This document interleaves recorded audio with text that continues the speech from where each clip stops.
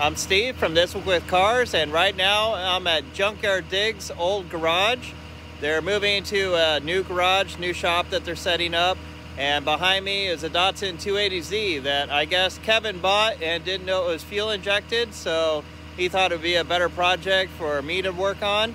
And so I'm gonna load it up and get it over to my shop.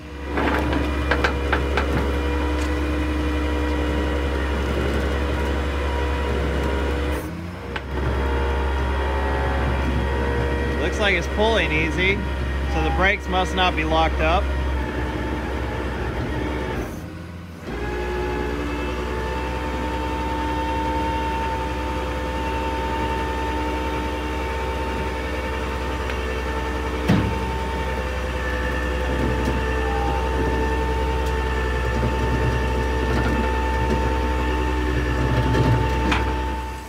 Car loaded up, so I'll see you sometime in the future when I have a chance to take a look at this Datsun.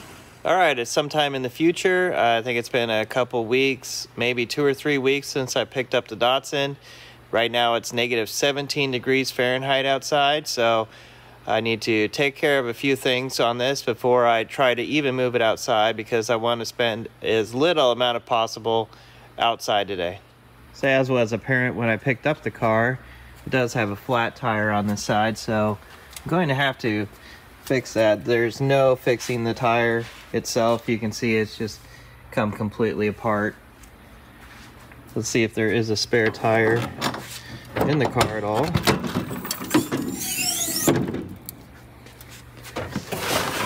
Let's look down under here. Okay, so there's just a space saver spare. I'm not going to put that space saver on, but I do have other wheels and tires sitting around, so I'm gonna go grab one of those and that's what I'll put on the car.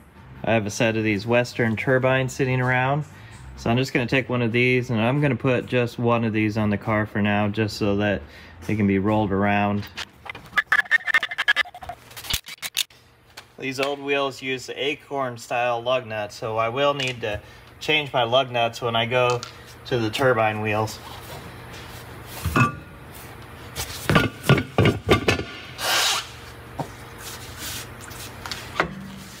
These are kind of a pain in the butt because you need to lift the wheel up to get it up onto this surface because it doesn't ride on the lug nuts. So I like to turn it so that it's straight up and down like that. Sometimes the studs are long enough that you can just get a couple lug nuts started and then pull the wheel up onto the lug nuts.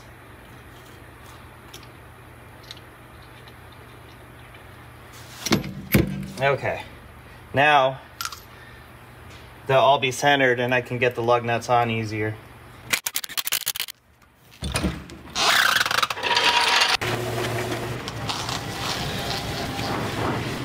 As you can see, I have the Datsun 280Z moved up here so I can work on it. But we need to cover a few things first. I got this car from Kevin over at Junkyard Digs.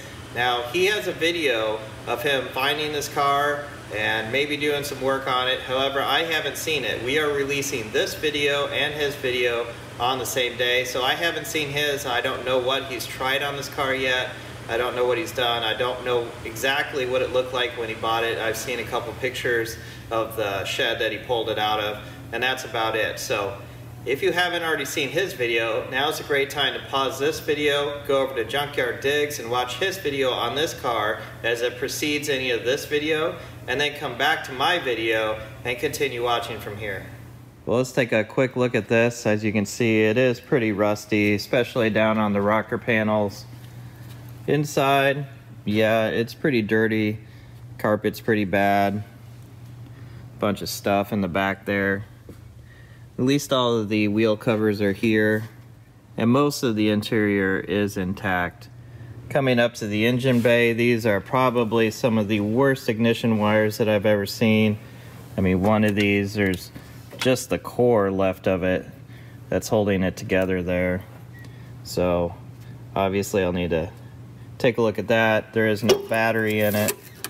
That's where I'm gonna start.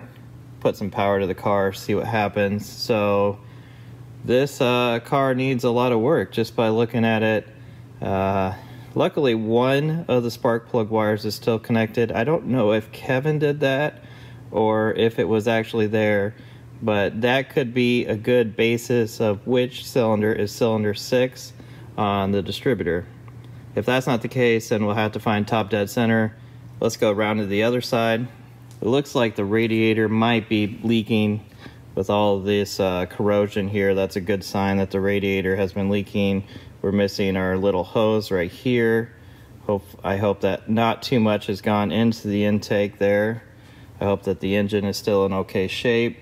I have the battery sitting in there now. I did have to pull out that plastic tray that was actually the original plastic tray for this car and it had a little drain that went down to the frame there. And uh, after I did that, I set the battery in there and the whole battery uh, bracketry had collapsed. Luckily, the battery will not fit down because of the fender, so I've got the bracket just kind of sitting in there. And it looks like they were just using some of these wires here that they twisted together to hold the battery in before. So I've also pulled these out to get them out of the way, try to get anything that shouldn't be in there out of this car. Now let's just lightly touch the negative terminal here. I already have the positive hooked up. See if there's any spark. There's not. Must be safe to hook up. Yeah, let's go inside, turn the key, and see if anything happens. Real quick, I should check the oil. Make sure there is some. Yep, Looks like there's plenty of oil in it. Here we are inside of the lovely Datsun. You can probably see some of this dust blowing around in front of me here. But uh, let's turn the key to on. Nothing happened there. Let's uh, hit the starter, see if anything happens. No. Okay, nothing is happening at all inside the car. Nothing turns on, nothing does anything. So we are connected to the battery, but we don't have any power. So the next place to look is the fusible links. You can see some examples right here. The different colors on these fusible links represent what resistance is these are going to melt at. And the these cars have four of these. Two in this box, which should have a plastic cover on it. And normally they're mounted uh, so that this, this part with the wires would be facing up someone's been in here and messed with this. This one here, you can see is all kinds of messed up. So I think first thing I'm going to do, you can see that this one here has been bypassed. They cut this wire, which usually went here, then went through a fusible link down to this other side. Well, they've just bypassed that and taken it straight to this side without a fusible link. This one, however, here just has this really junky wire right here and I do think I have some fusible links sitting around, but for right now, I'm going to get my jumper lead that has a circuit breaker installed on it and put it here instead. That way it's a lot safer option and I'm not burning up fusible links. I was walking around the car to get my jump leads and I noticed that the brake lights are on. So need to deal with this first before we move on to the fusible links because if I leave these on, it's gonna drain the battery down on me and then we'll run into more problems and more issues. Okay, so I am in the driver's footwell right now, and if you go up the brake pedal there, there is a switch for the brake light. I'll see if I can reach up in between there. Oh, okay. Maybe that switch is just completely disintegrated. Looks like part of that switch fell apart once I pushed the brake pedal in, and that is why it's not being pushed back to uh, cut the circuit and turn the brake lights off. So I'll have to pull off the connectors right there on the back of that switch in order to turn the brake lights off. Okay, so what I've done is I've disconnected this connector that was shortly behind the brake switch and now the brake lights won't be on and I'll just leave it this way until I can get a new switch to make the brake lights work properly. Okay, I'll show you what I've done here. This is a handy tool that I've built a long time ago.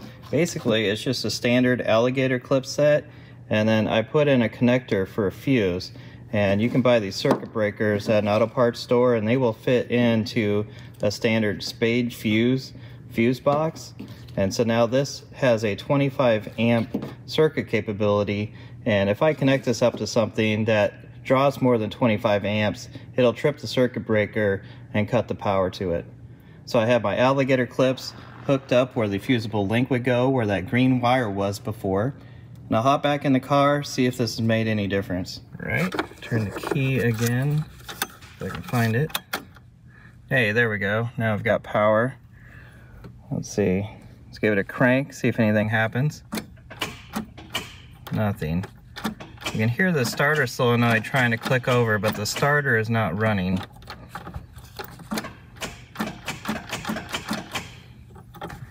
So, time to go take a look at the starter. So here we are near the battery, and down here is the starter. And attached to that is the starter solenoid. So we have power coming into the terminal closest to me, this big one, and then when the solenoid kicks over, it puts the power to the further one and down to the starter. Well, this little wire up here, this activates the starter solenoid. I'm going to disconnect this, and then I'm going to hook up my alligator terminals straight to that so that I can activate it here from the engine bay. And I'm going to grab a hammer and tap the starter while I do that. We'll see if we can get free the starter up, and then if it does, then I'll move my alligator clips back to here instead of on the starter and try to start it from the inside. Okay, now I'm just going to take my brass hammer and give the starter a few taps. Try to activate it. There we go, and it works now. It was actually turning the engine over. So I'm going to connect the wire back up and we'll try it again from the inside. Back inside, I know the starter works, but will it work from in here now? No. There it goes.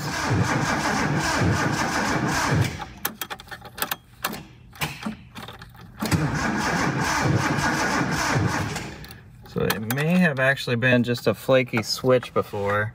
Not sure if it was stuck or if it was just a switch. But it is kind of, doesn't quite act quite right. See, I can't turn it all the way, but then if I push it in, then it will go into that position. Not sure which way I was doing it before, but either way, we have the starter working now. The ignition wires on this car are just in horrible shape. So this one here is connected to number six. I don't know if it was connected to number six last time this was running, but let's just uh, take that bet and make this number six. So I want to find this wire and then I want to take my paint pen and mark the other end of it as number six. So then we know the firing order. So this one right here, I will mark with my red paint. And now we know that is number six. And then following the firing order around the distributor cap, I can hook up the rest of the wires. So I have a set of new spark plug wires and I also did get a new cap. I don't have a new rotor at this point, but I'm gonna pop this cap off and then transfer my new cap on and hook up the number six wire to this spot and then follow my firing order to hook up the rest of these wires. It's pretty funny that these wires are in such bad shape over there because they look almost brand new when you get up here to the cap. So maybe an animal ate them over there. Not sure. Let's see how bad this old cap was. Yeah, it doesn't look too bad. There's some corrosion there, but it doesn't look that old. Rotor.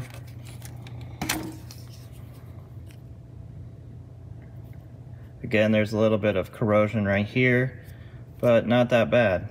Looks perfect inside there still. These cars do use an electronic ignition system. They don't use points, so I don't have anything to deal with the points here. So the ignition system is either going to work or it's not. There's no in between. And an electronic ignition system like this doesn't require the maintenance every year like a point system does. You can't see it right now, but I have all my wires laying on the fender over here, and I do have them ordered from longest to shortest. So number six was right here before. I guess I don't need any of this anymore. A bit of the old spark plug wire left on that one. Next after six would be two, and then we've got four, and then one. Next is five, and of course last is three. Then of course there's the coil wire. I have a new one of those as well. So our ignition system is hooked back up, but we don't know if it works. So I'm going to take a spark tester, and I'm going to hook it in line here. It doesn't matter which cylinder you do this on. And it will show us, by flashing a light in here, if we do have any spark being produced. So I'm just going to set it right here. I should be able to see this from inside. And I'll crank the engine over and we'll see if this flashes.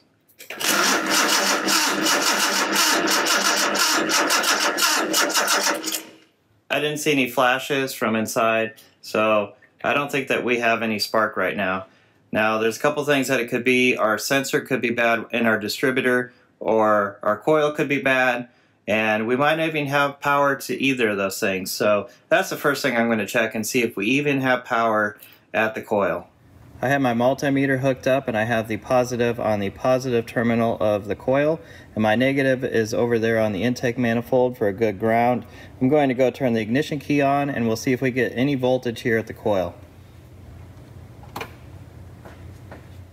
Okay, we are getting good battery power to the coil so we know that the at least the key part of the ignition system appears to be working correctly.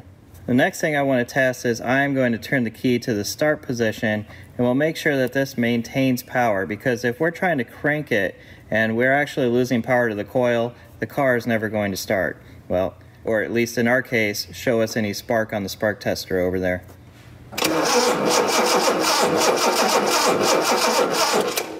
We didn't maintain 12 volts while I was cranking the engine, but it was 8, 9 volts, which is completely acceptable. So we do know that the coil is powered while cranking as well. I'm going to go turn the key off so that I'm not draining the battery.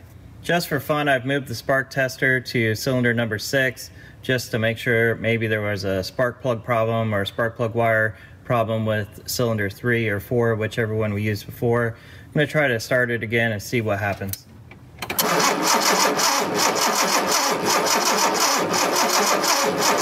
Okay, this was flashing this time. Uh, so maybe while I was testing the coil, I might have jiggled something loose and now the coil does have power when it didn't before. So, but I'm not sure if it's just a cylinder. So I'm gonna move this back over to the cylinder it was in before and test it and see if that cylinder has any spark.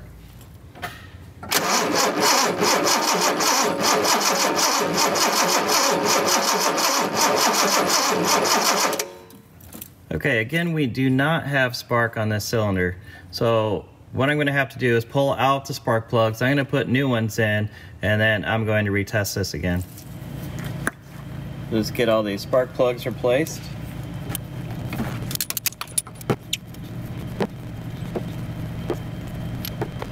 The spark plugs I've been pulling out haven't looked that bad, so a little confused as to why I'm not getting spark on that cylinder.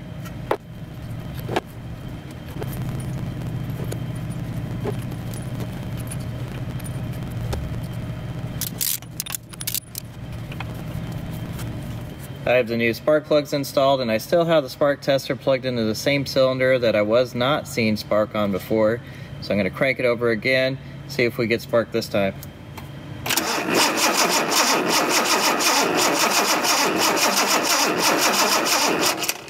Still no spark, so that's really strange. So what I'm going to do now is hook up the spark tester on every single cylinder to try to give us a clue of what's going on. Maybe it's a bad spark plug wire, but these are brand new. It's all off of the same cap, which is brand new.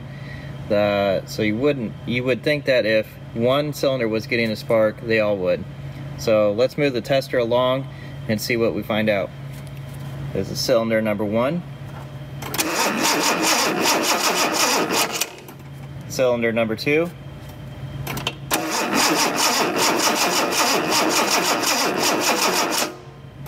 Here's number three again. This is the one that we had a problem with before.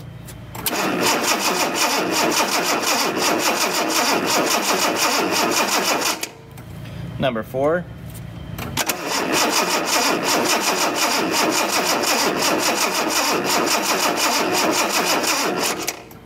Number five.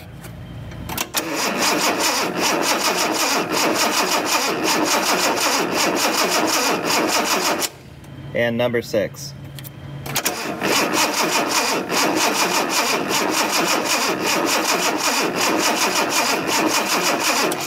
I took a look at that video that I just shot and I should have turned off the lights when I shot it because I don't think that you saw all the sparks that happened.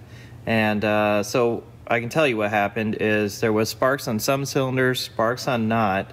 And the ones that did have spark, it didn't seem like it was consistent that it was firing every time that it should be. So I think what the problem might be is the reluctor inside the distributor. This has electronic ignition and there's a little re reluctor wheel that rotates and triggers the spark to happen. And I think we should reopen the distributor, take a look at that, see if we can clean it up, and then let's check the spark again on cylinders that we know we haven't seen firing at all yet. Here inside the distributor, this is the reluctor wheel. And as this rotates around, each of these points, when it comes in contact with the trigger here, uh, tells that coil that it needs to fire, and that causes a spark to go out to whichever cylinder the rotor is pointing to at the time. The sensor itself could be dirty here where uh, it's trying to detect the points. The reluctor wheel could have corrosion on it, causing it to not be picked up correctly, or we may have a problem with the sensor itself. But first, I think I want to try to take the wheel off, and then we'll be able to see the sensor better and see if we can clean that up too. Okay, here's a better look at the reluctor wheel. Each of these edges, as it passes the sensor, triggers the spark to happen. So I'm going to take this over to the wire wheel and freshen up each of these edges. I want to make sure that I'm very light with it and don't take off any material to change the gap very much. Okay, I've cleaned up all of the edges. So now these edges here are nice and clean. So now I'll take a look at the sensor. What we're looking at now is the detector for the ignition module and this little strip right here at the edge of the screwdriver, that's what gets triggered by that wheel. You can see there's a bunch of little flakes of metal and stuff stuck to that. Now you can see it all cleaned up. I'm gonna put it all back together and we'll try it again. And I have the spark tester hooked back up to cylinder three, which is the one we haven't seen any spark on yet. I'm gonna turn the lights off and then crank it over again. We'll see if we have spark here now.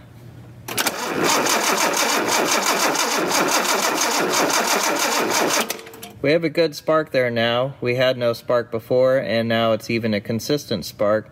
So I'm going to leave the ignition system as it is now and let's go take a look at the fuel system.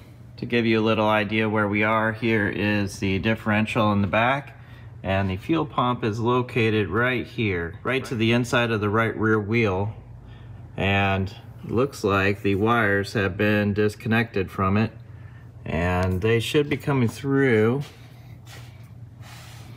There they are right there. So here's the wires that probably did go to the fuel pump. Uh, I'm not sure why someone had disconnected these. Kind of looks like maybe there was just a wire nut on there. Um, so the first thing I need to do is put my multimeter on here and see if we are going to get any power from the key down to these wires to activate the pump should we have one that works. I have the leads for my multimeter connected up to the two wires there so I can watch this. I'm gonna go turn the key on and we'll see if we get any voltage here on the multimeter. My multimeter does have Bluetooth, so I have my phone connected to the multimeter. And now as I turn the key, we'll watch and see if we get any voltage there. And if we do, okay, there we go. So the ignition key does turn on the power to the pump. So now we can test that pump, see if it's good. If it is, we'll hook the wiring back up and if it's not, we'll replace the pump and we know that we have working wiring going to it. Looking at the pump, you can see the positive and minus symbols there. So I know the one with the blue connector is a positive, the one with the red connector is my negative. So I'm just gonna hook up these wires to a battery real quick and we'll see if it does anything. Okay, I've got my jump pack here, have my negative hooked up here, and We'll touch this to the positive and we'll be able to hear if the pump runs at all. So that's, no, you can see it's sparking, it's taking power, but the pump must be seized. Probably from old gas has gummed it up and the pump no longer works. So that means I now need to get this pump out of here and replace it with a new one. I have the old pump out. You can see that someone has wrapped it in duct tape so that it would fit correctly into that clamp so I'll uh, grab a new pump and put it up here and we'll see if we need to fix some of the stuff that they botched before we put the new one on And then, uh, and I'm also going to want to put a filter in line so that if there's anything in the tank, it doesn't get sucked into the pump.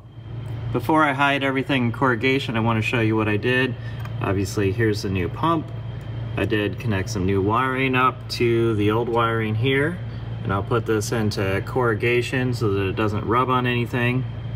And then I've also replaced all of the hoses that run from the pump to the tank. And then I've added a filter here. So this will connect up here to the new hose right there. But for right now, I'm not going to be using the fuel tank. I have right here, hanging from the rear bumper, a little drip gas tank. It's got a valve so I can shut it off. I'm going to connect this straight up to the fuel filter and I'll run the car off of this bottle for now. As the corrugation is on and the fuel is hooked up, time to get in, turn the key and see if the pump runs. Okay, I'll turn the key, we'll see if we hear the pump, and then we can check the fuel, make sure it did pump fuel up uh, through the filter. Yep, I can hear the pump running. You can hear it sucking fuel in now. Let's check the engine bay, make sure there isn't any leaks. I can hear the fuel coming up here now. I don't know if you can hear that. There's a bit of crackling. Okay, there is some fuel leaking right there.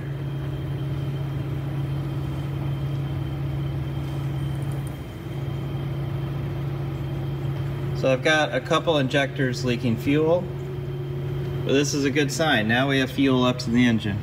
Now that I have fuel up here, I need to focus on the injectors, and you may have noticed before that one of the injectors is unplugged, so I need to get this plugged back in, and actually over here, this one, this wire has become broken, so I need to take this connector off and I'll need to see if I can fix this. So I'll need to get this insulation broken off so I can see how much of the wire is exposed here that I can connect up to. Hopefully that there's enough there that I can reconnect this in some way. Okay, it looks like it's broken off at the pin in there.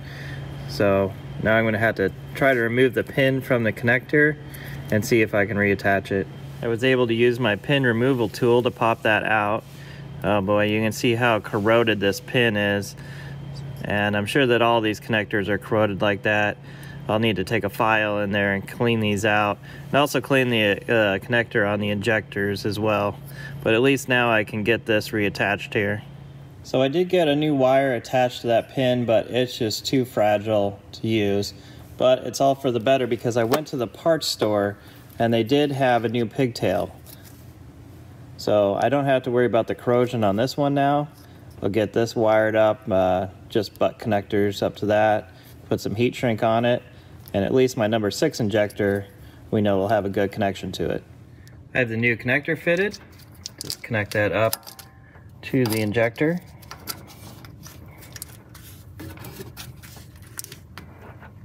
There we go. Before I try to start it, I want to build something here to draw air in through the mass airflow sensor. I don't have one of these hoses at the moment. These always break on these cars. If they get old, the little accordion here always breaks. Uh, very few 280Zs that you've seen that have sat around for too long have these in good shape. I don't have one of those, but I do have this piece of iron pipe. And I was thinking maybe I could just set this in here like this and then make up the difference with some good duct tape. And at least then the air will be traveling through the mass airflow sensor and I can get by just long enough to see if this car will run. Have my iron pipe duct taped in there. Actually, it's pretty solid. It's not a perfect solution, but it's a perfect solution for today when I don't really have any other choice. Now on the other end of that, I don't have the hose that goes here to the air filter either, but that's probably okay. Don't want it sucking anything from the air filter in anyways. So I think now it's time to just turn the key and see what happens. All right, here's the moment I've been waiting for. First trial start of the Datsun 280Z. Got fuel pressure.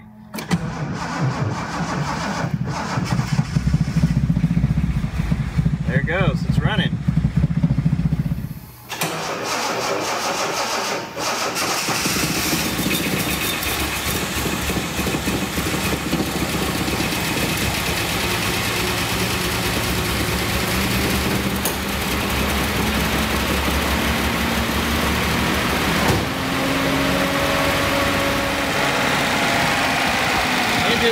filling up as the injectors are starting to work. It just died on me. Wow, look at this stuff. It blew out all over the floor. This is uh, chunks of foam that I guess the mice must have crammed into the exhaust. seemed like the throttle wasn't returning. I thought that the throttle wasn't returning and it seems like the throttle is actually completely seized up. So I wonder if, there we go. Get the throttle backed off there a little bit. Yeah, I think when I had hit the gas, I had pushed it open a little too much. All right, well, what happened is I actually forgot to turn the fuel valve on, and that's why the engine had died. So I'll get down here and turn it back on. Actually, the fuel turned on this time. See if it'll start.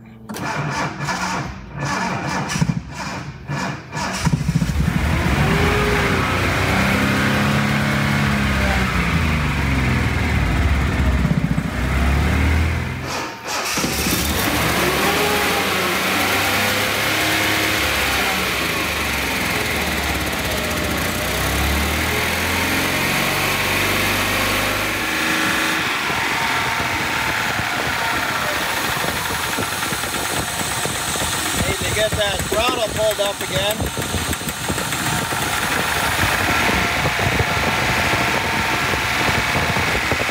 if I can get it stuck in a good spot.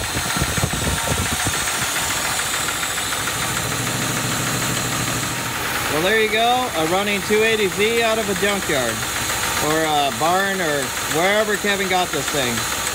I don't need my circuit breaker connected anymore and I found a uh, kit of fusible links that I had in the back. As I stated, these are different colors because they're different amperages. And the one that I have missing, I believe, should be red. So I'll take one of these red fusible links and I'll put it there instead. It's pretty simple, that's all there is to it. It just loops from one terminal to the other. And then there would be an opaque white plastic cover that covered this up so you didn't get water inside of here. Right now it's about 5 o'clock at night and there is just a little bit of daylight left so if I can get the clutch working then we can find out if this thing drives or not. Clutch master cylinder is right here. I'll try to get this cap off and see what it looks like in there. I got the cap off and there is still fluid in it so that's a good sign that it's not leaking. I haven't even tried it to see if it works Okay, pushing on the clutch pedal, there is zero resistance there, so I don't think it works. I think someone must have pushed the pedal, either I or Kevin, and it pushed uh, the piston in the master cylinder back and it got stuck in that position because there's nothing here but spring pressure right at the moment. Well, I think that's it for today. I was hoping that maybe I could get it running and driving, but I probably need to order some parts for the clutch and brakes to make that happen. If you want to see more videos like this, comment below and click subscribe.